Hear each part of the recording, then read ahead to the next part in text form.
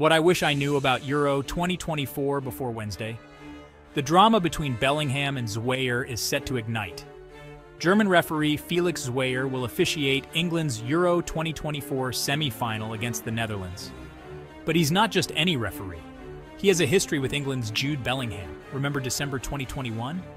Bellingham was fined 40,000 euros for criticizing Zwayer's decisions during Borussia Dortmund's loss to Bayern Munich. He accused Zwayer of controversial calls, sparking a storm in the football world. Why was this such a big deal? Zwayer's past includes a six-month ban in 2005 for his involvement in a match-fixing scandal.